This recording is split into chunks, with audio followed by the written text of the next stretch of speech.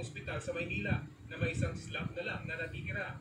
Sa naturang ospital, halos isang nurse lang daw nag-aasikaso sa buong ward sa dami ng pasyente. Doon po sa hospital, 4 days lang po ang ginagalita. Tapos, uh, bigla na lang, ano na, namatay daw sa septic shock. So, una, uh, ulane, tapos pupol. Welcome to Mobile Legends! Five seconds till the enemy reaches the battlefield. Smash them!